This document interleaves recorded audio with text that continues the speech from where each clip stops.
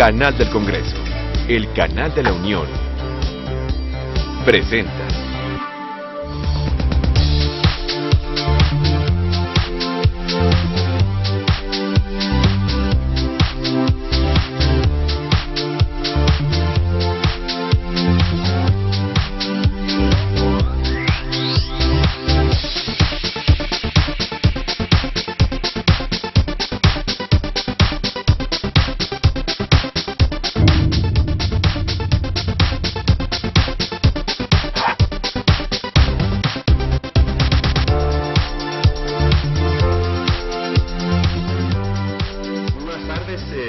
Gracias por acompañarnos en esta eh, reunión de la Comisión de Desarrollo Urbano y Ordenación Territorial, eh, que también cuenta con la presencia de nuestros compañeros de las comisiones de estudios eh, legislativos.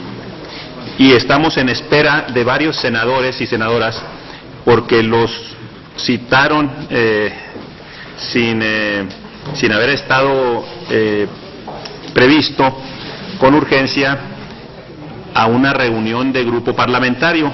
En el transcurso de la reunión se van a ir sumando a esta, a esta reunión. Entonces vamos a, obviar algunos puntos primeros de la orden del día y vamos a pasar a la materia que nos ocupa, sin antes no dejar de mencionar eh, la presencia de los expertos que han venido trabajando por más de dos años en este tema, en esta importante eh, pues iniciativa.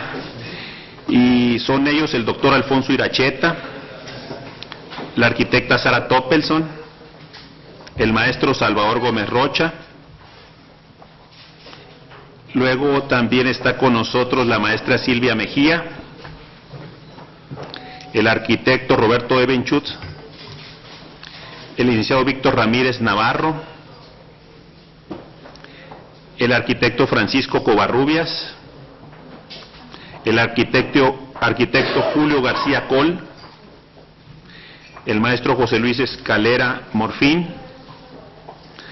arquitecto José Luis Llovera, maestro Juan Carlos Centella, licenciada María Angélica Luna Parra.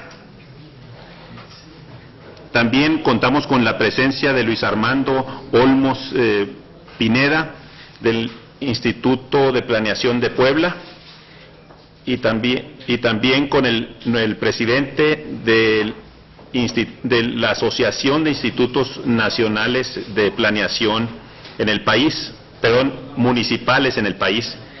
Quiero pues decirles que la presencia de todos estos expertos eh, que han venido trabajando por casi o más, eh, más de dos años es una gran bendición, una gran oportunidad que nos dan a esta legislatura y al nuevo gobierno que enfrenta también una nueva eh, reconformación del tema urbano en la SEDATU, que nos brinda la posibilidad de, en un tiempo razonable, poder tener un cimiento jurídico que permita eh, implementar las políticas de desarrollo urbano en este país. Esa oportunidad la tenemos gracias al trabajo que todos ustedes han llevado a cabo. Les agradecemos eh, de manera infinita eh, esa generosidad que va a rendir frutos muy pronto. Yo quisiera en este momento y decirles a los senadores Fernando Torres y al senador Fernando Yunes que nos permitieran entrar en materia antes de establecer el quórum y esperando a las otras senadoras y senadores para entonces ir a los procedimientos del quórum de esta reunión.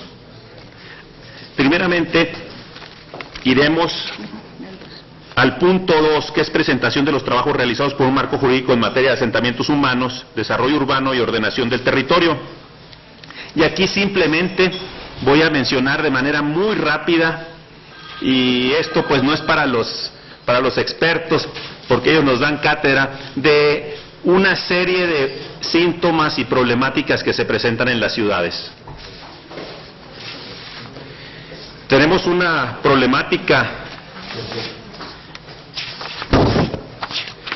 de pobreza urbana, y esto se resuelve con, con una visión del desarrollo que genere oportunidades pues en el, en el centro de una ciudad pues está también pues la actividad humana del trabajo y del sustento. Entonces las ciudades necesitan tener una visión y una, una visión que sea competitiva, que les permita competir contra otras ciudades y tener sus ventajas que les permitan generar las oportunidades para las gentes que ahí habitan.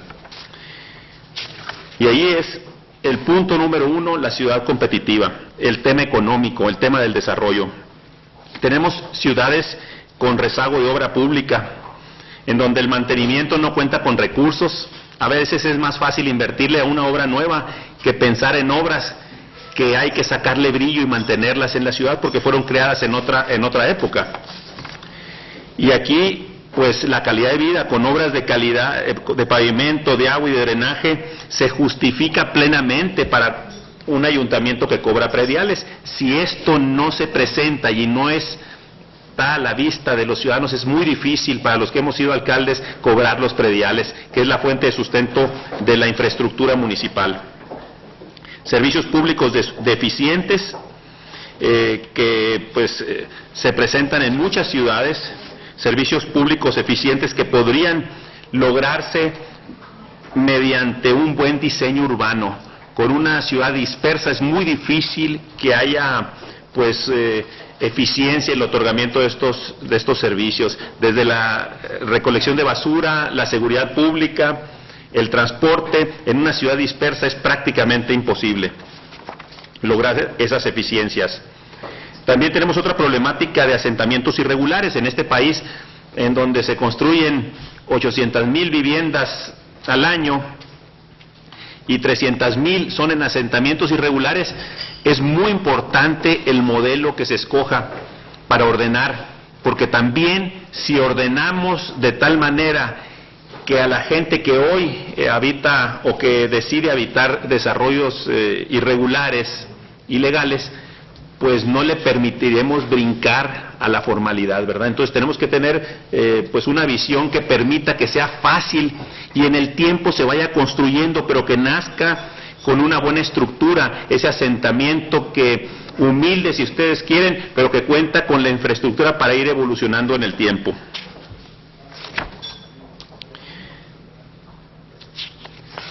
También el tema de la inseguridad, y aquí tenemos al presidente de la Comisión de, Seguridad Pública, el tema urbano es fundamental para tener ciudades seguras.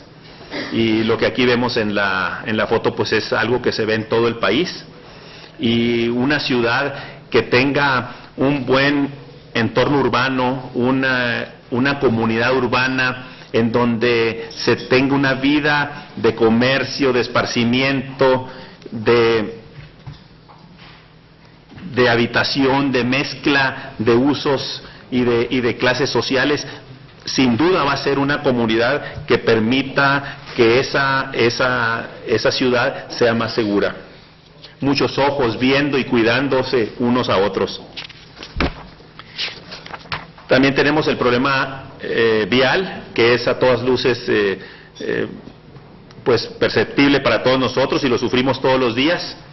Y ese problema vial, pues también tiene mucho que ver con el diseño urbano, porque si estrangulamos y pensamos que en pocas calles eh, principales vamos a, manejar, eh, pues esa demanda de automóviles va a ser imposible. Tenemos que pensar en que no solamente las principales arterias de un sistema circulatorio, sino en la conectividad, múltiples opciones de comunicación eh, van a permitir que el tráfico pues sea mucho más eficiente y, que no haga pues esos cuellos de botella que hasta en las ciudades planeadas nuevas de Estados Unidos que las quieren llevar por un freeway a las 5 de la tarde están colapsándose. La dependencia del automóvil, una ausencia de alternativas de transporte. Y aquí pues como bien dicen, un buen diseño urbano pues va a resolver de fondo eh, mucha de la problemática del transporte, que no solamente es tener otras alternativas eh, de, movilidad, sino también, pues la mejor solución al transporte es no necesitar transportarse tanto, ¿no? Y eso es ir a las causas, no a los efectos. Otra problemática que se presenta en las ciudades es eh, la segregación social. que viene de esa especialización de zonas de vivienda, esa fragmentación de la respuesta eh, urbana que se dio en las últimas décadas, en donde por otro lado están los centros de trabajo y por otro lado los, los centros educativos, y entonces la gente anda de un lado para otro y la vida de una persona es integral y luego tenemos estas ciudades que les llaman dormitorio, eh, ciudades eh, en donde pues hay una, una, especie de monocultura, como le llaman los, los expertos, y que pues eh, no ayuda a que haya una movilidad social y un desarrollo armónico. Es muy distante de lo que podría ser una comunidad urbana integral que ofrezca en el barrio y en la región y en la zona pues todo lo que necesita el ser humano para tener una vida digna. También pues eh, esta iniciativa y estos trabajos atienden al problema de la especulación del suelo y sabemos cómo la ciudad eh, pues ha, crecido muy dispersa con espacios eh, libres urbanos que están en manos de especuladores que van generando una plusvalía que no es compartida por quien hace las inversiones. Entonces, las inversiones en infraestructura no recuperan esas plusvalías, cuando debería de ser la inversión en infraestructura totalmente sustentable desde el punto de vista financiero, recuperable por el gran valor que se genera cuando hay un buen eh, manejo urbano y un buen diseño al respecto.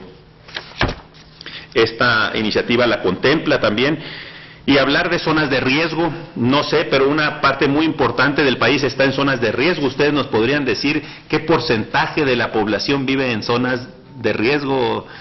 Eh, es, alta, muy alta esa, esa proporción. Y el, como dicen, la naturaleza reconoce siempre, ¿no? Y no perdona. Y por más que, queremos, eh, que queramos eh, resolver esa problemática, corregir algo que se hizo mal cuesta mucho dinero y no siempre se obtiene eh, plena garantía. Y aquí pues hay múltiples soluciones que se pueden dar a esos espacios que pueden verdaderamente en lugar de ser un problema ser una oportunidad. El deterioro ambiental, pues la, vegetación que salió de las ciudades, eh, pues la gran contaminación por el intenso uso del automóvil, eh, son cosas que se pueden combatir y se deben de combatir con un buen diseño urbano, con una ciudad bien planeada. Vean nomás lo que se hicieron hace pues eh, muchos años. Eh, ahí está el Paseo de la Reforma desde el, desde el Gran Parque de Chapultepec. Pues no es nada nuevo como podemos ver, ¿verdad? Eh, hay mucho que rescatar de, de, esos principios del, del urbanismo sustentable. Hablar de mala imagen, hablar de un entorno, de una ciudad integral, como lo podemos ver en la próxima eh, página, eh, es, algo que, da calidad de vida. Y hablar de otra problemática que es eh, la dispersión urbana,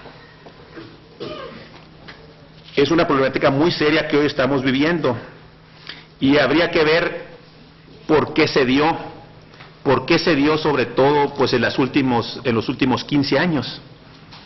¿Por qué? Y entonces es cuando vemos cómo también eh, en el pasado se estaban construyendo eh, edificaciones verticales. ¿Y por qué las cambiamos a la edificación unifamiliar? Porque hubo una mala concepción y se quiso imponer un modelo pensando que se iba a proteger al ciudadano porque calidad de vida era como sinónimo de vivienda unifamiliar y del lote mínimo. Y los reglamentos de las ciudades en todo el, en todo el país, pues el lote mínimo de, de, 120 metros, luego de 140, a ver quién da más. Y pues eh, se generó un efecto negativo. Es, eh, hay que dejar que el, que, el, que el propio ciudadano tenga las diversas alternativas y él solo va a escoger lo que más le conviene, ¿no? Entonces, tenemos que darle una opción que se dejó de dar, que es la, la, ciudad compacta, con buenos equipamientos, mucho más concentrada, en muchos casos vertical, pero con lo mejor de la vida. Y aquí lo podemos ver cómo en, en, las grandes ciudades del mundo se tienen las diferentes opciones y la mayor parte de la gente prefiere la parte central de la ciudad. De hecho, es la más, termina siendo la más valiosa por todos los equipamientos y, la, y, las, y los servicios que puede ofrecer. Espacios públicos escasos, una ciudad, y, la doctora Toppelson nos lo, lo, recordaba, lo recordaba muchísimo en todas las ciudades, cómo nos hemos olvidado de esos, de esos parques, de esos equipamientos de esparcimiento, esos equipamientos, plazas eh, públicas, espacios de escuelas, espacios cívicos. Entonces tenemos que prepararnos para ello. Planes coordinados que atienden muchísimo la iniciativa que, en la cual estamos trabajando, en donde pues eh, los tres órdenes de gobierno no se hablan, no tienen el mismo plan, inclusive entre dependencias en cada uno de los órdenes de gobierno, cada una jala para su rumbo, y el tema urbano y el ser humano es uno, y hay que atenderlo con esa, con esa visión integral. Entonces también hay que resolver un problema no solamente de desintegración del espacio urbano, sino también de desintegración de la administración pública. Se terminó un viejo modelo que resolvía todo desde el centro, se empezaron a pasar responsabilidades a los ayuntamientos, pero no se creó el modelo. Vean nomás cómo hubo una diferencia muy grande en, en la parte cívica, en la parte electoral. Se pasó a un modelo democrático, descentralizado, pero se crearon instituciones se crearon eh, pues eh, plataformas eh, jurídicas capaces de mover adelante un nuevo un nuevo sistema electoral abierto. Bueno, en el tema urbano, pues ahora es el momento en que lo tenemos que hacer y no importa que haya sido algunos años después, pero pues es la gran oportunidad que tenemos. Y luego ya por último paso a presentarles el mapa legislativo donde están ahorita en el Senado la reforma constitucional que es la minuta que le llamamos eh, sobre todo para atender la problemática de las zonas metropolitanas, y está la Ley General de Asentamientos Humanos, Desarrollo Urbano y Ordenamiento Territorial, que cubrirán eh, todo ese proceso y que en la siguiente lámina, por favor, veremos la propuesta nuestra, que es llevar a su aprobación en este periodo. ¿Por qué? Porque después de este periodo, esta es la punta del iceberg, como dicen, vienen no sé si 15 modificaciones a otras leyes, legislaciones estatales y luego reglamentaciones municipales. Luego la nueva Secretaría tiene que hacer también sus reglamentos para operar e implementar lo que dice la ley. Entonces, este es un año muy intenso, muy intenso. Y la parte fundamental, el detonador que, tenemos nosotros es el que se apruebe en, esta, en este periodo esta legislación que le hemos presentado por muchas partes en muchos lugares eh, de todo el país y aún sabiendo que se ha hecho foros eh, en el pasado y que ha habido un intenso trabajo, la hemos vuelto a poner en, en, práctica, digo, la hemos vuelto a poner eh, a consideración y coinciden con pequeñas modificaciones. Eso es una ley bastante completa. Eh, a mí me permito yo en este momento felicitarlos a todos los participantes de estos dos años de intenso trabajo. Y ahora pues me gustaría que el doctor Iracheta tomara la palabra y nos eh, hablara precisamente de esta legislación.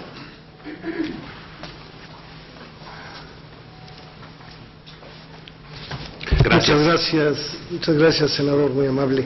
Eh, eh, señoras y señores legisladores,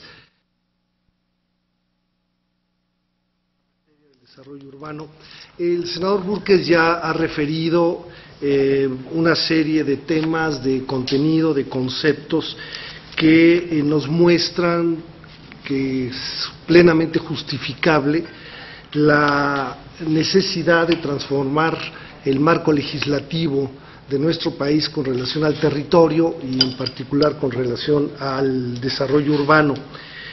Eh, la presentación entonces que yo voy a poner a su consideración complementa sus conceptos y eh, va un poco más a proponer o a mencionar lo que contiene esta nueva propuesta de ley.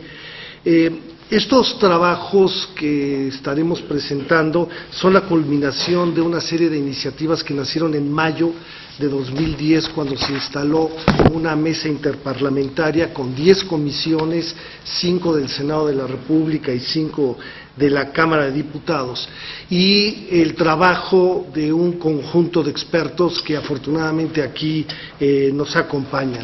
De hecho, el producto de parte de la Cámara de Diputados fue este libro, que seguramente algunos de ustedes tendrán y si no creo que debe haber ejemplares. Aquí está narrada la historia, yo diría gráfica, de todo lo que se hizo durante año y medio, los foros a los que se acudió en todo el país, los compromisos que asumieron legisladores, la lista, sus nombres, es decir, es una evidencia de que lo que acaba de comentar el señor senador es plenamente congruente con el proceso eh, legislativo. Eh, inicio con algunos elementos que justifican el tema. México ya es un país urbano y una tendencia muy fuerte a ser un país metropolitano. 60% de los mexicanos vivimos en grandes conurbaciones. 70% del crecimiento del PIB está ocurriendo en ciudades mayores de 200 mil habitantes. Pero aquí una gran pregunta, la legislación y las políticas públicas territoriales no reconocen estos procesos. Entonces estamos en una profunda contradicción. Nos urbanizamos, casi todo ocurre en las ciudades y no tenemos un proyecto de ciudad para el largo plazo. En los últimos 30 años la población de México se duplicó, pero la superficie de las áreas urbanas creció siete veces. Hay casos realmente impactantes de crecimiento de más de 20 veces, cuando la población apenas se duplicó o menos que se haya duplicado. ¿Esto qué implica en el sentido estricto? Que hoy todas las ciudades mexicanas tienen una estructura dispersa, segregada, insustentable en sus periferias. El gobierno federal, los estatales, los municipales, hace muchos años que abdicaron de su responsabilidad de controlar y orientar el desarrollo urbano. Fue una decisión que se supuso habría otros mecanismos que resolverían los problemas urbanos y lamentablemente no logramos resolver estos problemas. Afortunadamente hoy la nueva Administración Federal está retomando el tema del desarrollo urbano y ha propuesto con toda claridad en las declaraciones recientes ciudades y metrópolis ordenadas, compactas y sustentables. Después de tres décadas de políticas que han sido erráticas, aisladas, descoordinadas, ya se reconoce la necesidad de retomar como política de Estado la planeación coordinada de regiones y de ciudades. Y esto nos parece que es lo más importante, porque el Estado es el único actor reconocido en nuestra Constitución para orientar, para coordinar, para proponer cómo deben crecer nuestras ciudades, de la mano de la ciudadanía, de la mano de los inversionistas, los desarrolladores. Se reconoce también la urgencia de una estrategia territorial nacional. Este mapa que presento aquí, que fue elaborado por don Julio García Col, que nos acompaña, es parte de los estudios que ya se hicieron en la sede Sol y en la Universidad Nacional Autónoma de México para proponer una estrategia territorial nacional. Es decir, el día que ustedes determinen aprobar esta nueva ley, al día siguiente podrán tener en sus manos los documentos que le permiten al gobierno federal iniciar la toma de decisiones mucho más ordenada, porque muchos estudios que están soportados en esta nueva ley ya tienen un contenido eh, bastante amplio y aceptado en buena parte del país. No existe una política de movilidad urbana y metropolitana, como nos mostraba el, senador Burques. El problema es que hemos dejado en el automóvil la prioridad de la transportación, nos hemos olvidado en buena medida del transporte eh, público, del transporte a pie, de las bicicletas, no obstante que la gran mayoría de los viajes se hacen precisamente a pie y en transporte público.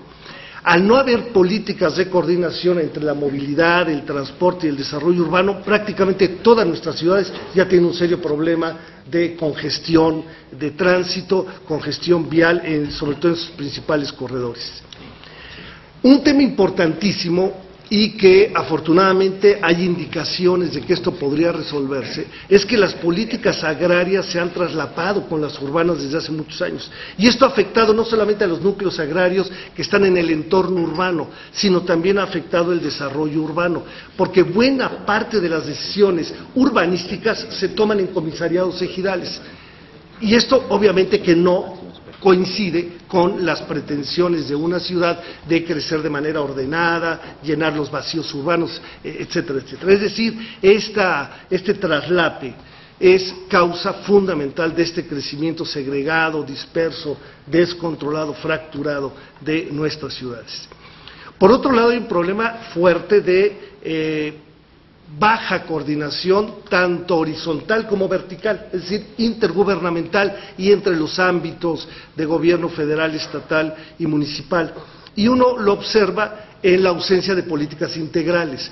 Eh, no tenemos una política para el ciclo integrado del agua, se mete agua potable, pero luego no se resuelve el drenaje, se resuelve el drenaje, pero no hay tratamiento y terminamos ensuciando las barrancas o los, eh, niveles freáticos de las ciudades. Igual ocurre con los residuos eh, urbanos en general, con los temas del ambiente, no hay un acuerdo claro con la parte del gobierno federal que, es responsable del mejoramiento del, ambiente. Y esto es parte de esta crisis urbana metropolitana que estamos enfrentando.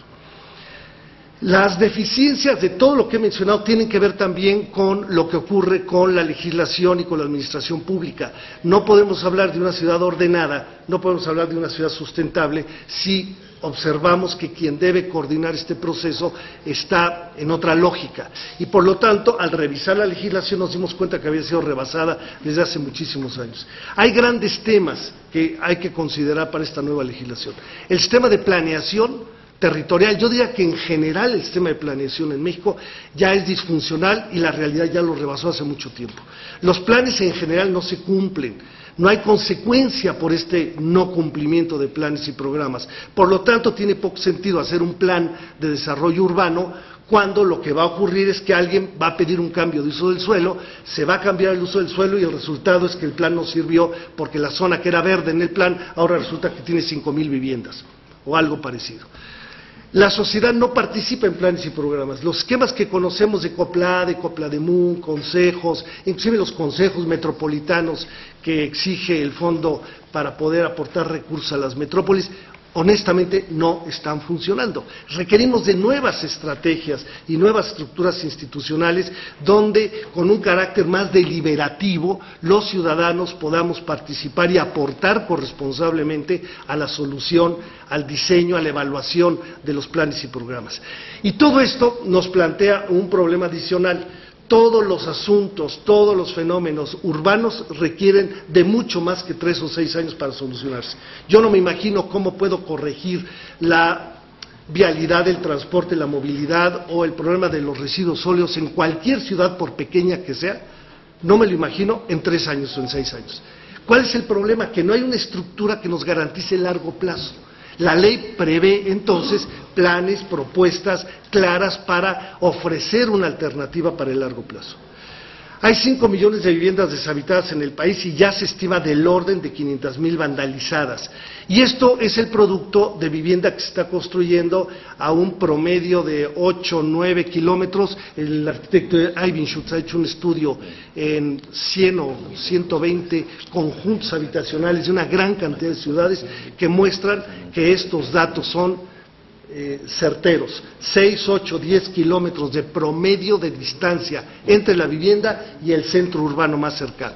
Esto es una causa porque el costo de transporte no le permite a una familia pagar este costo más una hipoteca y están regresando a las ciudades en condiciones muy poco eh, adecuadas de habitabilidad.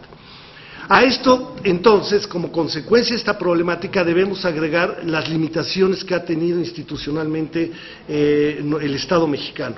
El gobierno y los actores sociales hemos desatendido el desarrollo urbano metropolitano. No lo consideramos como un espacio prioritario para la seguridad del país, para la gobernabilidad, para la sustentabilidad.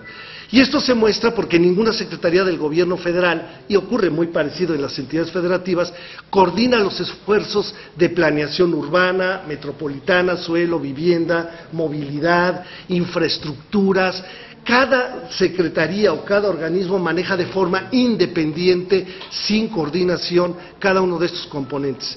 No hay ordenamiento territorial en México. Yo podría, podemos asegurar que prácticamente desapareció la planeación regional con un sentido de toma de decisiones y que sea participativa. Y en consecuencia la legislación territorial ha sido rebasada, como he comentado. Hoy, afortunadamente, el Gobierno federal, el Congreso de la Unión, están enfrentando ya estos problemas de abandono y de dispersión institucional en estas materias y una evidencia es esta propuesta de nueva legislación. La ausencia de políticas de coordinación y planeación metropolitana, que es el tema original de la mesa interparlamentaria, pero que luego se quedó muy claro para todos que metrópoli es parte del desarrollo urbano y en consecuencia habría que renovar la legislación del desarrollo urbano teniendo un capítulo específico para las metrópolis porque en efecto son peculiares, son diferentes al promedio de las ciudades. Pero hay un problema serio y es que prácticamente no existe en la ley el tema metropolitano y por lo tanto no hay una coordinación entre los municipios o entre las entidades federativas que configuran una metrópoli. Por eso se plantea la urgencia de que sea obligatoria la coordinación intermunicipal e interestatal a fin de que en acuerdo los responsables de gobernar ese gran territorio puedan hacer el plan, puedan eh, dar continuidad a las obras inter eh, intercambiar información, actualizar la eh, normatividad, etcétera. Es fundamental entonces que alguien, alguna dependencia del gobierno federal, piense, estudie, diseñe y administre integralmente con la población y para el largo plazo las metrópolis de hoy y del futuro. Finalmente, estoy acercándome al cierre de la parte analítica. Se requieren soluciones financieras para atender las necesidades de ciudades y, de eh, metrópolis. Si ustedes analizan los recursos directos, los fondos, los programas federales, aquí aparecen algunos, eh, y otros que, que, están en otras áreas que aparentemente no tienen nada que ver, pero que impactan las ciudades, están descoordinados. Además, sus recursos son escasos. No hay una visión de la ciudad ni de la metrópoli cuando se aplican. No atienden prioridades acordadas de cada ciudad y de cada metrópoli. No tienen visión de largo plazo y no participan los municipios y la sociedad en la determinación de los proyectos prioritarios. Esto está consignado en las evaluaciones y en las metaevaluaciones de los programas que tiene la Secretaría de Hacienda, que tiene la Secretaría de Desarrollo Social y otras dependencias del Gobierno federal. En consecuencia de toda esta problemática, ¿en qué consiste la propuesta? Eh, reitero lo que dije hace un momento, después de 21 meses de trabajo eh, de legisladores, de expertos, cuatro foros macro regionales, un foro estatal en el Estado de Hidalgo también, aportaciones de todo tipo de instituciones públicas, privadas, académicas, etcétera, permitieron integrar una propuesta de reforma constitucional que ya fue aprobada por los diputados en abril de 2011 y una nueva Ley General de Asentamientos Humanos, Desarrollo Urbano y Ordenamiento Territorial que, como bien dijo el señor senador, está en proceso de dictamen eh, en la comisión que él coordina en este Senado de la República. El contenido fundamental de esta ley es eh, amplio eh, muy rápidamente voy a hacer algunos comentarios nada más. Plantea nuevas responsabilidades del Estado mexicano en varias materias. Precisar responsabilidades y atribuciones entre poderes y ámbitos. Hoy no está claro quién hace una calle en una colonia y quién eh, puede proponer el diseño de, o aceptar torres en la primera duna de la playa. No es claro quién debe decidir qué o cómo coordinarse con el otro ámbito de gobierno. No hay normas e instrumentos suficientes para, para planear, coordinar y regular los asentamientos y la ley propone nuevas y además formas de coordinación. Reconocer la existencia de las zonas metropolitanas como áreas estratégicas del desarrollo nacional, parte del desarrollo urbano y reglas particulares para el Valle de México por su peculiaridad de capital nacional y sus condiciones eh, muy evidentes, diferenciadas del resto de las metrópolis determinar las bases de la participación social en el desarrollo urbano. Igualmente nos plantean los conceptos esenciales para vivir en un espacio urbano que ya es dominante en el país, la posibilidad de que todos podamos ejercer plenamente los derechos que aparecen aquí desde la perspectiva de la habitabilidad, desde la perspectiva de la calidad de vida en nuestro espacio eh, comunitario cotidiano Establecer áreas de suelo estratégico que nos permiten tomar decisiones, por ejemplo, en vacíos, grandes vacíos urbanos, y determinar formas de actuación de todos los actores para resolver, para ocupar eh, estratégicamente estos espacios consolidación de la estructura de las ciudades como prioridad, es decir, no más crecimiento periférico, vayámonos a ocupar estos vacíos urbanos como prioridad y controlemos el crecimiento periférico. Aprovechamiento ordenado de la propiedad inmobiliaria y el rescate de su función social. El suelo y los edificios son evidentemente una mercancía, se compra y se vende, pero tiene una función social que establece el artículo 27 que se ha ido perdiendo. Esto ha sido rescatado en el cambio constitucional y en la nueva, la nueva ley. Igualmente, el tema de regulación de las zonas metropolitanas una vez reconocidas. Son varios los elementos claves de esta propuesta. Yo diría, eh, principalmente lograr que el sistema de planeación funcione. Hay que armonizarlo porque Hacienda tiene a cargo la planeación del desarrollo, secretarías, de, bueno, todavía SEDESOL, ahora lo será la SEDATU, tiene la responsabilidad de eh, la planeación territorial y la Semarnat tiene la responsabilidad de la planeación ambiental. Pero hay un punto de encuentro. Las regiones están en planeación del desarrollo el ordenamiento ecológico del territorio está en Semarnat y estamos hablando del mismo territorio y de las mismas ciudades. El tema es que necesitamos armonizarlo y esto está propuesto. Garantizar que los planes se cumplan y se respeten y si no se hace esto, que haya consecuencias de la naturaleza que marca nuestra legislación para aquellos que no cumplen crear sistemas de información para el desarrollo urbano, reglas para la información y rendición de cuentas en el uso de los recursos cuando eh, son recursos para infraestructuras y equipamientos en ciudades y en metrópolis. Eh, recuperar esta función social de la propiedad como condición para que el espacio público pueda desarrollarse, desde la calle hasta la plaza y todos los equipamientos que poco a poco hemos ido perdiendo en favor de espacios que otros actores tienen que proponer. Tenemos que ofrecer suelo legal, bien localizado y con servicio a los más pobres para reducir efectivamente la irregularidad. No es cuestión de regularizar cuando atrás vienen familias que van a buscar eh, otra vez un lugar que no tienen más opción que la irregular. Desarrollar instrumentos para varios temas que ya comentó el señor senador Plusvalías, la ciudad compacta, la participación de los ciudadanos en el desarrollo urbano y su planeación garantizar que los municipios elaboren de manera conjunta los planes de sus metrópolis y de sus regiones. El, principio es muy básico. Primero pongámonos de acuerdo en el todo, en la gran región metropolitana que compartimos varios municipios o estados, y luego cada uno se va a su casa a elaborar el plan de su eh, parte, digamos, de su municipio eh, en particular. Hacer obligatoria entonces la coordinación para que esto pueda ocurrir. Si la ley lo establece que deberán hacerlo, pero les da la opción de que elaboren ellos el plan, es un acuerdo intermunicipal que pone además a los ayuntamientos en una condición muy superior a la que han tenido ahora como espacios aislados que ni siquiera, ni siquiera tienen contacto con sus vecinos.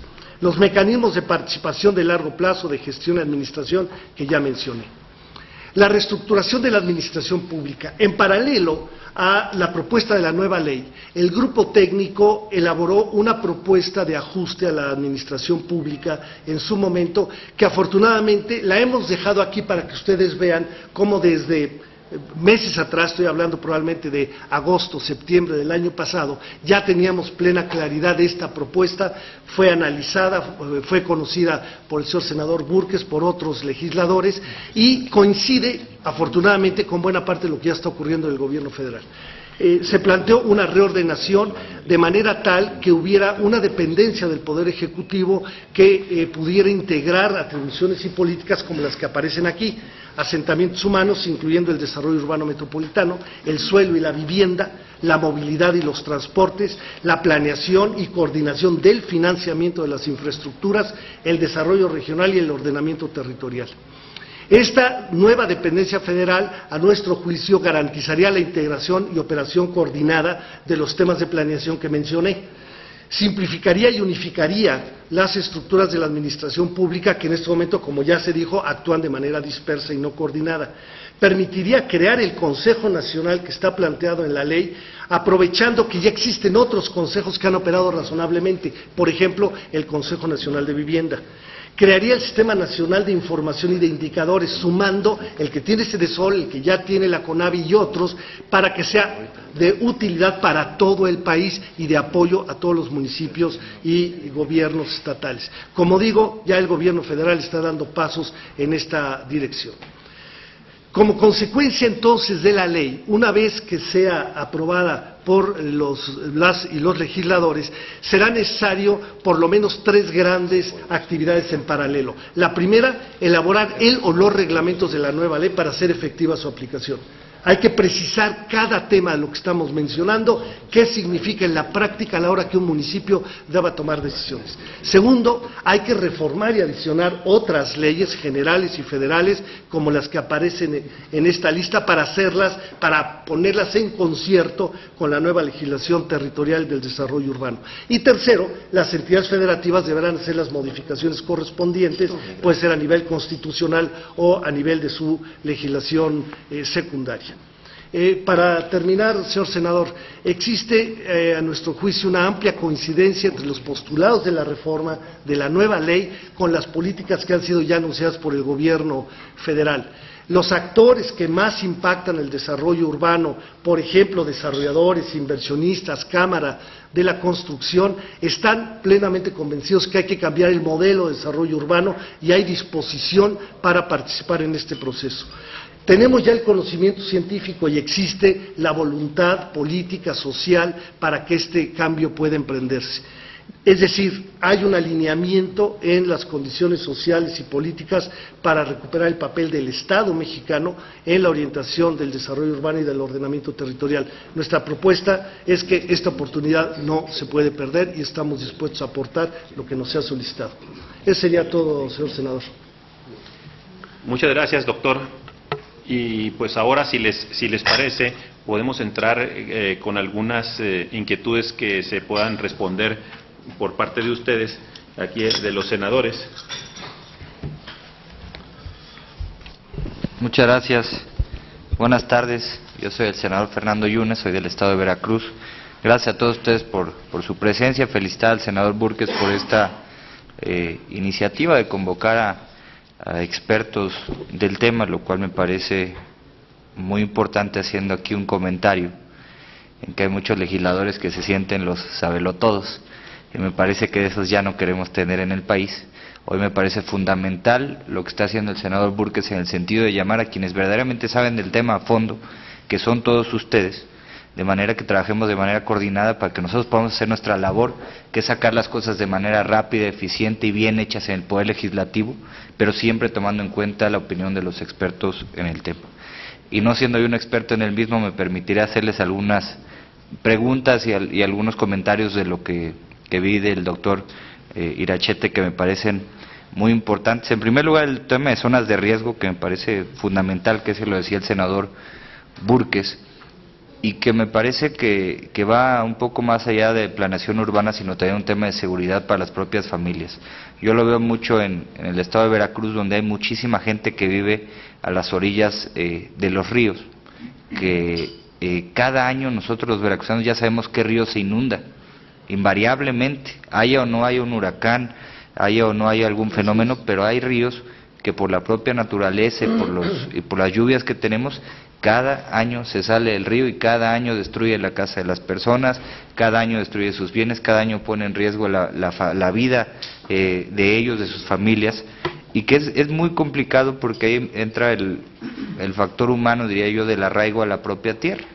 Mucha gente que aunque se le ofrezca irse a otros lugares, es complicado que se dé. Yo creo que por eso es muy importante que debe existir una legislación fuerte también en este sentido que haga que la autoridad eh, federal, estatal o municipal pueda tener también una herramienta jurídica que le permita eh, hacer esta, este reacomodo, si así se le puede decir, pues yo creo que una mayor certeza, porque hay veces que, que no basta solamente con decirle a la persona te tienes que salir de aquí porque aquí cada vez, cada año se inunda, etcétera, sino que a veces tenemos que llevar a cabo una planeación mucho mayor. Algo en lo que yo, yo coincido también con, con ustedes, yo con todos y lo platicaba aquí con, con Pancho, es el tema del transporte público, que por decirlo poco es deficiente en el país, ¿no? Y me parece que incluso el calificativo creo que es, es generoso. eh, tenemos un transporte público, eh, me parece eh, muy por encima de eficiente y aún más en las zonas que no son, no son metropolitanas y un problema muy importante del que ustedes decían, de, de, que en algunos fraccionamientos, zonas de este tipo residenciales y de interés social, les queda seis o ocho kilómetros el centro urbano más cercano. Pero no solamente esto, a veces les queda y me ha tocado ver en Veracruz, digamos, de la puerta de su casa a la salida del fraccionamiento otros uno o dos kilómetros porque el camión no entra y porque les, les cuesta muy caro pues, salir en taxi o no tienen coche y me parece que también es un problema bastante grave por el cual muchas personas igual deciden otra vez regresar al centro de la ciudad, como bien decían, en condiciones muy, muy complejas y que creo que tenemos que ir, ir atacando. Yo les haría otra pregunta, yo escuchaba hace unos meses de, alguna persona que me decía que en el tema de, de, la vivienda de interés social, que el futuro de la vivienda de interés social tendría que ser para arriba, que tendríamos que estar pensando una vez más en unidades habitacionales, en edificios, más que las que se, bueno, se han dado más en los últimos años, que son grandes eh, extensiones, que son las que están afuera de las ciudades, etcétera, de manera de tener un, un modelo de ciudad eh, que vaya creciendo hacia arriba y no tanto hacia lo ancho por la propia dificultad, sobre todo de servicios públicos, que me parece que también es un tema muy importante en cuanto a la regulación de este tipo de fraccionamientos de interés social, que a veces eh, el constructor va, los hace, pero los servicios públicos son deficientes, los ayuntamientos no tienen la capacidad suficiente como para brindar un servicio público de calidad en cuanto a recolección eh, de basura, alumbrado, otras cosas más, y también ahí el tema eh, por ejemplo, de parques y jardines. Que a veces, a mí me tocó mucho, estando como diputado acá en Veracruz, ayúdenos, diputado, a que en este terreno que está aquí en fraccionamiento nos hagan un parque. Pero pues no es del municipio, sigue siendo el desarrollador. Entonces también es, es muy compleja esa relación entre, entre lo que es un servicio público municipal y lo que debe ser el, el, el digamos, el, el servicio que debe ser el desarrollador del mismo, ¿no? Perdón. Yo creo que hay aquí dos temas fundamentales. El primero, y lo comenté aquí con, con el senador Burques también, es el tema de sancionar a quien no cumpla con este tipo de planes y programas. Creo que hay una visión eh, generalizada eh, muy corta. En este país difícilmente algún gobernante vea futuro, hay que decirlo con todas sus letras, los alcaldes ven de aquí a tres años, los gobernadores de aquí a seis y los presidentes de aquí a seis. Y creo que tenemos que ir cambiando esa visión mediante legislaciones como esta, que son mucho más integrales, son legislaciones que nos permitan eh, ver un poco más allá a los que estamos eh, en, cuestiones políticas, ver más allá del puesto, y que a lo mejor le tocará a un alcalde poner las primeras piedras y a cinco alcaldes más adelante terminar el desarrollo, pero que tenemos que verlo como un proyecto integral eh, de país. Yo creo que ahí es fundamental, y se los quería preguntar, saber cuáles son las, eh, las sanciones que irían en este caso. Y de ser así, me parece que tendrían eh, también que verse fortalecidas, que ser sanciones importantes, que no sean sanciones simbólicas, aunque también entiendo que es muy difícil de, de graduar las mismas, pero sí creo que es fundamental. Y por otro lado, y lo comentaba también con el senador, eh, creo que necesitamos aquí una participación no solo de los tres niveles de gobierno y sociedad civil, que me parece fundamental, sino también de los partidos políticos. Y en este caso, sobre todo en la coyuntura actual del Pacto por México, que lo hemos eh, visto en las últimas fechas, y me explico por qué, y creo que va un poco con la, con la cuestión de visión. Puede haber un municipio cualquiera que a lo mejor actualmente gobierna el PRI y los próximos tres años gobierna el PAN y a los otros gobierna el PRD y a los otros el Partido Verde. Entonces a lo mejor nos va a estar 12 años con partidos distintos, pero tenemos que buscar la manera, y creo que ese debe ser el objetivo, de que esas administraciones distintas tengan un plan común, por lo menos para ciertas cuestiones, también sin limitar al, al, 100% pues, su propia actuación municipal, su propio plan de trabajo. Creo que esa es una, una tarea que, pues más bien que nos quedamos los legisladores, pero que me gustaría también hacer el comentario. Muchas gracias.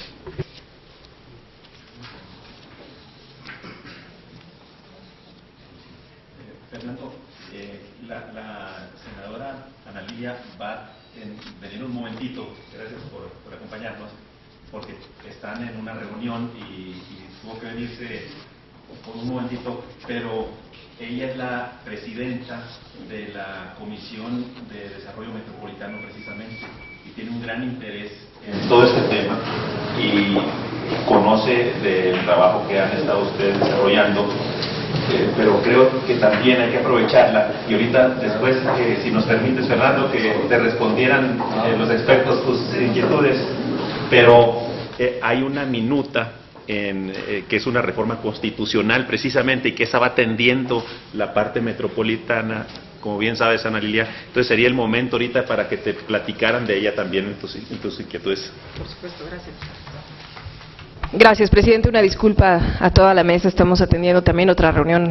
A veces el trabajo legislativo eh, no, comprende los, que los días solo tienen 24 horas. Gracias, señor presidente. Gracias a todos ustedes. Yo quiero hacer un reconocimiento al trabajo que se ha venido realizando. Soy como, como mexiquense, bueno, beneficiaria del consejo, de la aportación de muchos de los que están aquí presentes y que son mis paisanos y de muchos otros que no lo son, pero que a lo largo de, muchos años he tenido la oportunidad de seguir de cerca su trabajo y de guiar algunas de las, de las decisiones que he tomado en el servicio público de los expertos. Soy una creyente de que uno no puede saberlo todo, lo que uno sí está obligado a hacer es a tomar decisiones informadas.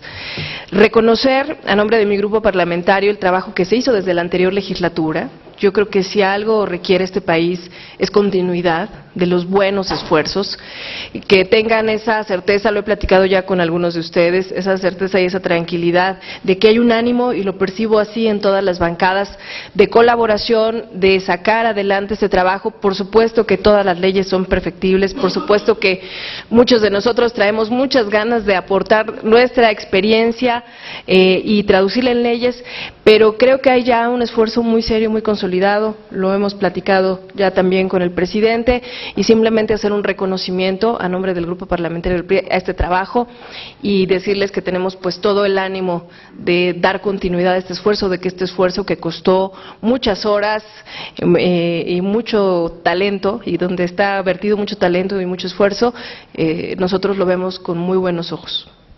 Sería cuanto, presidente. Gracias.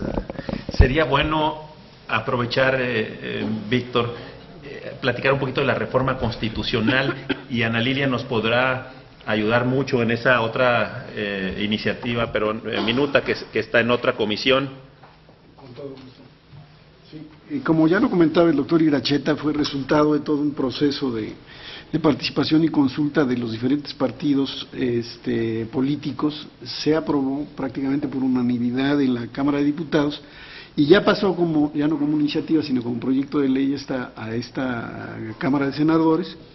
Eh, la iniciativa plantea una serie de elementos que nos parecen críticos, pondrían en la, ponen en la agenda nacional, al primer, en el estatuto máximo de nuestro sistema jurídico, una serie de cuestiones que parecen críticas en esta materia. Primero, el reconocer el fenómeno metropolitano. Eh, hemos tenido algunos centenarios y hemos conmemorado la independencia hace 200 años y 100 de revolución. Sin embargo, el municipio, que es el receptor en buena medida de, las eh, funciones en, desarrollo urbano, se ha tenido algunas modificaciones, pero no se ha modernizado plenamente para asumir esta nueva realidad mexicana que ya se aducía hace un rato. Más del 70% de la población vivimos en grandes ciudades, casi todas ellas metropolitanas, con límites jurídico-políticos que devienen de épocas de la colonia. Este, sí es muy importante reconocer estos antecedentes, pero también tener nuevas herramientas para enfrentar estos fenómenos de administración y de gestión metropolitana en aquellas áreas y segmentos que son estratégicos y que deberían de ocupar a las diferentes entidades políticas en una coordinación este, para dar respuestas eficaces a esos problemas. Pero no solo es el reconocimiento del fenómeno metropolitano, también la reforma constitucional está eh, proponiendo algo que, eh, sería muy importante para el sistema jurídico, particularmente para la, cuestión de las regulaciones urbanas, que es el reconocimiento de la función social de la propiedad. este reconocimiento de que la propiedad en efecto es algo que reconoce nuestro sistema, pero que es una propiedad que está sujeta a los dictámenes y a los intereses de orden público que, eh, que, vaya, que el interés público está sobre el interés privado y esto podría, si se diera esta reforma en el sentido que se propone para el 27 constitucional, eh, abrir la puerta a instrumentos que hoy han demostrado en América Latina una eh, probada eficacia, en el caso de Colombia, en el caso de Brasil, o en, el caso en el caso europeo de español, eh, que permita no solo ver a la propiedad como un sitio de imposición fiscal, sino también de ciertos deberes de ocupación del espacio de acuerdo a las necesidades de la ciudad, entre otros elementos. Es decir, reconocer que eh, tiene una función respecto de la ciudad, la propiedad y que tiene que cumplirla. Eh, otro de los eh, elementos que se pone en la reforma constitucional está el reconocer como dinámica urbana, hoy día se reconoce nada más los procesos de fundación, crecimiento, conservación y mejoramiento. Está proponiendo también un fenómeno que hoy es evidente en la realidad urbana del país, que es el de la consolidación de los centros de población, como, una dinámica específica que debería tener instrumentos ad hoc para este, eh, atenderle. En el artículo 73 se refuerza la necesidad de que la planeación nacional no solo sea de carácter federal, sino que se asuma como una ley general. Hoy día la ley de planeación es una ley de carácter federal y la propuesta es que eh, sea una ley de carácter nacional que articule la participación de los, de los tres eh, órdenes de gobierno en materia de planeación. Es algo que creemos muy importante, que pudiera hacer mucho más efectiva la planeación regional, que ha dado muy escasos resultados en, la experiencia eh, de los últimos años en el país.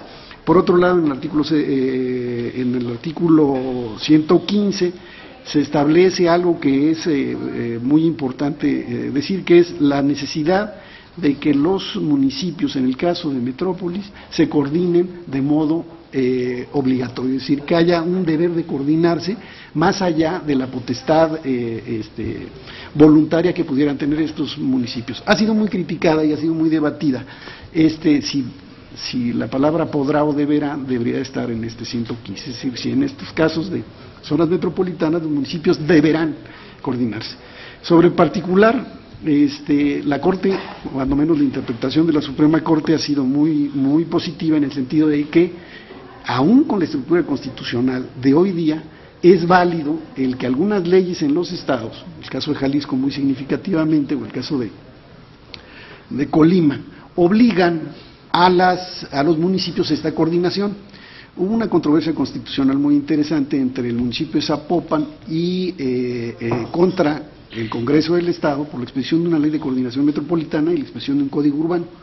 Ahí la Corte determinó, el municipio de Zapopan alegaba que le violaban la autonomía del la, la, autonomía municipal, que violaban su libertad financiera, que lo estaban vinculando a proyectos de largo plazo, etcétera hubo ocho o diez argumentos que hacía valer el, municipio de Zapopan y la Corte se pronunció en todos ellos dando la razón al Congreso del Estado diciendo que si bien es cierto que los municipios son, eh, este, tienen facultades y atribuciones, también es cierto que tienen una serie de obligaciones para con eh, el desarrollo de los ciudadanos.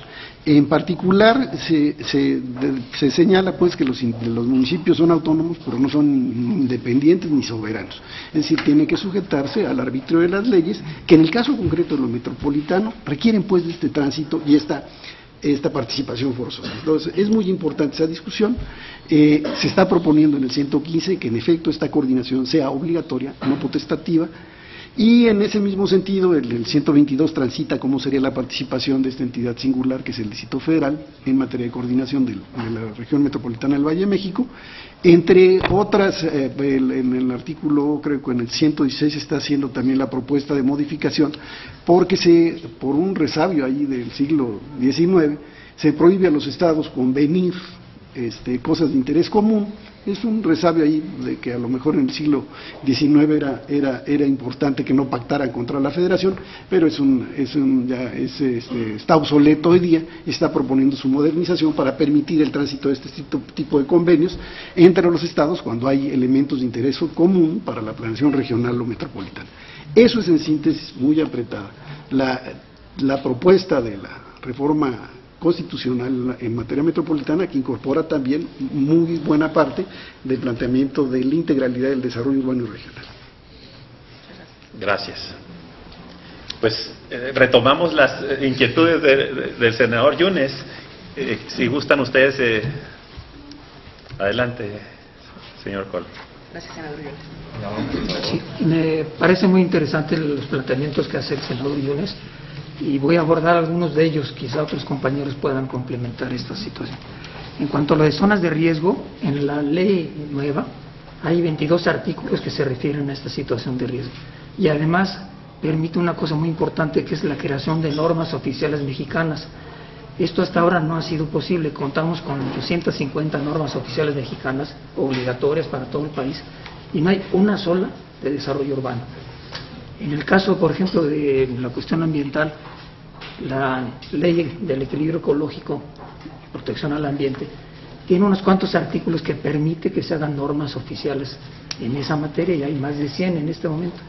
Esta ley nueva de General de Asentamientos Humanos también permitiría que hubiera normas oficiales mexicanas que en parte atenderían ese problema que le preocupa. Yo siento que es un problema muy grave tenemos un anteproyecto en Sol de norma oficial mexicana de ocupación del territorio que contribuiría mucho a este asunto también. En cuanto al transporte público, bueno, yo creo que esto nos permite ver que es necesario asociar transporte público o transporte en general, movilidad, con uso del suelo. O sea, el separar esas dos cosas es lo que ha significado que de repente se tomen decisiones puramente desde el punto de vista de ingeniería de tránsito que resultan a veces absurdas. Hay que ver las cosas en forma articulada. El transporte se da porque pues, hay usos del suelo diferentes. Aquí está la vivienda, ahí está el trabajo, la escuela, etcétera. Y hay que verlo así articulado, que es un aspecto que, que destacaba muchísimo Alfonso Iracheta hace, hace un rato y que también de alguna manera se contempla como enfoque fundamental de la ley. ¿no? Eh, en cuanto a las sanciones que no se cumplen, Simplemente comentar, bueno, una cosa asociada a esto, que es que la ley eh, de asentamientos humanos entró en vigor en 1976, su última reforma fue en 1993, hace 20 años. Entonces, sí es tiempo que haya una renovación de esto, es tiempo que efectivamente nos enfrentemos a nuevos problemas que se han estado destacando tanto por el senador Burques como por Alfonso Iracheta, ¿no?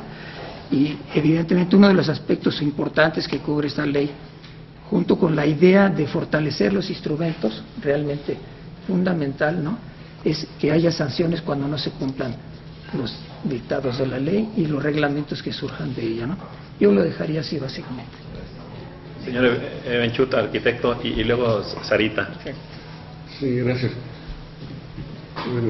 también comentando la, intervención del, senador Yunes, que me parece muy sensato, muy claro en la percepción de los problemas.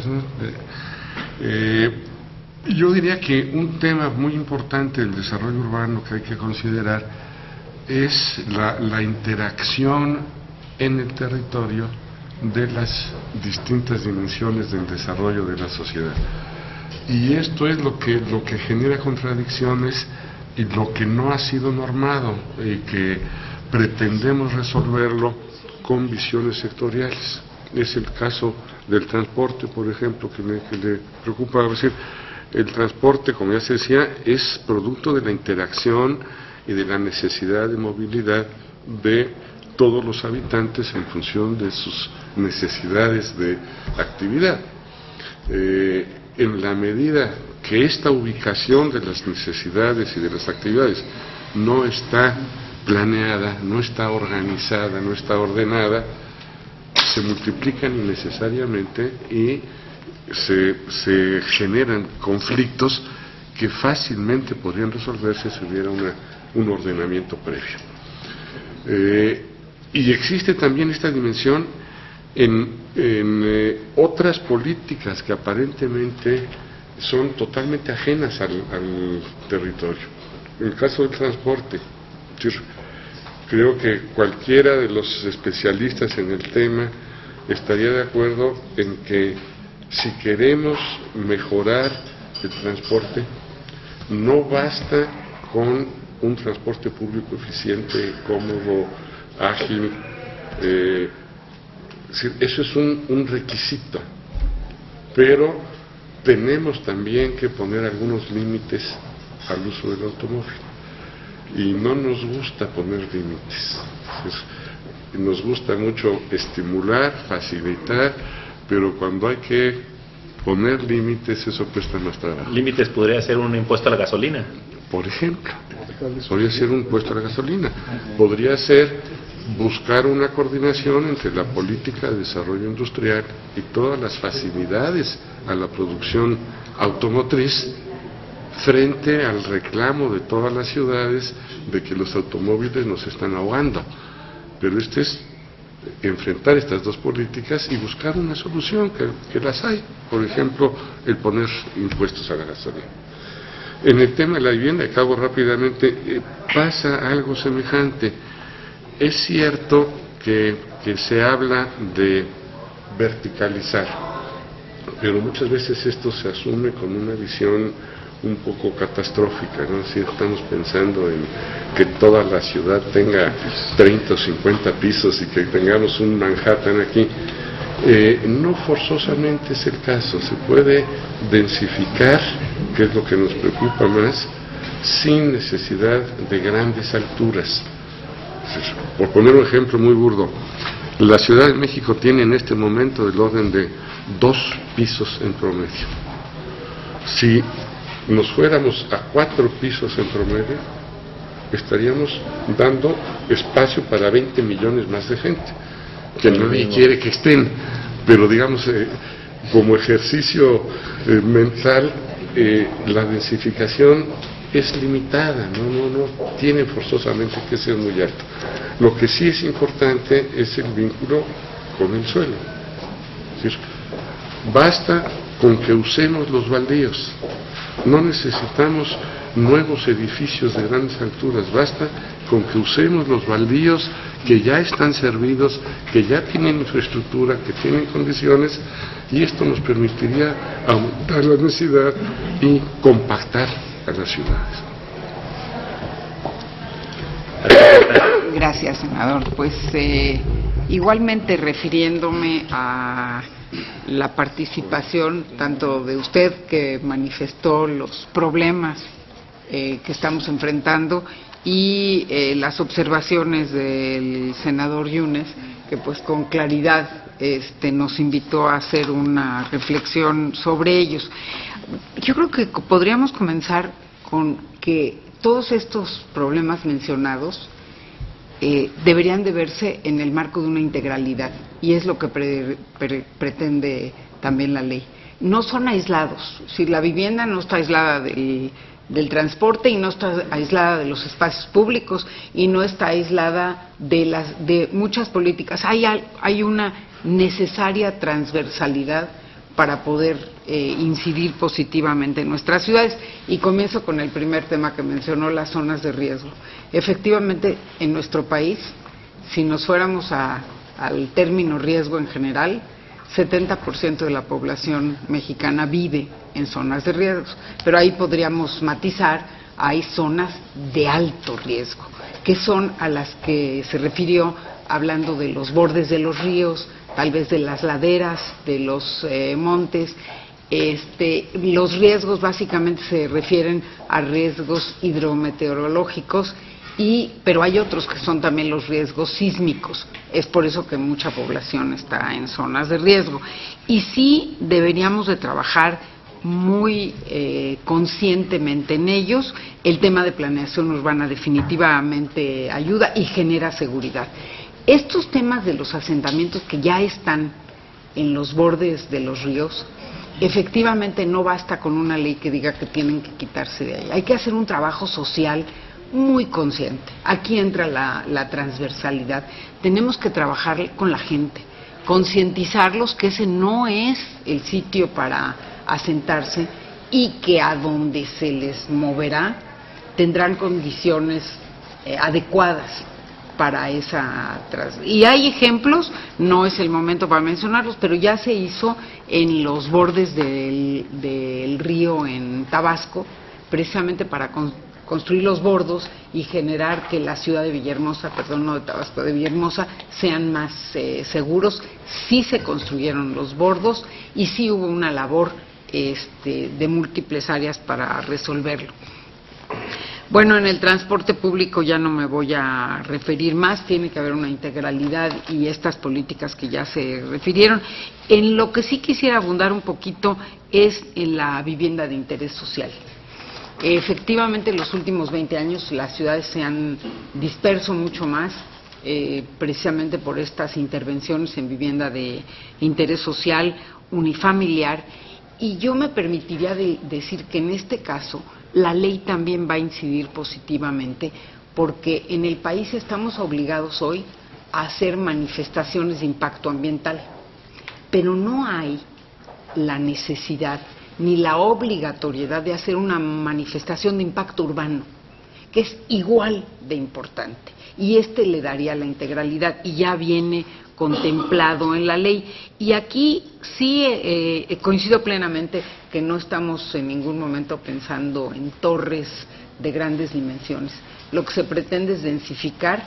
No traigo conmigo los números, pero les puedo decir que en general en las ciudades mexicanas, en los últimos 30 años, la densidad se ha reducido considerablemente entre a la mitad de la densidad de, de 1980 o a la tercera parte.